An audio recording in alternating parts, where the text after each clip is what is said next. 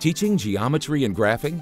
Toyota's Spark 101 STEM Skills video, Maintaining Design Standards Through Precision and Accuracy, takes students behind the scenes at Toyota's largest advanced manufacturing plant in North America. The video and educator resources spark imagination and critical thinking for students with varied levels of math skills. Through concepts of duplication by graphing, students will understand the application of geometry in the auto manufacturing industry.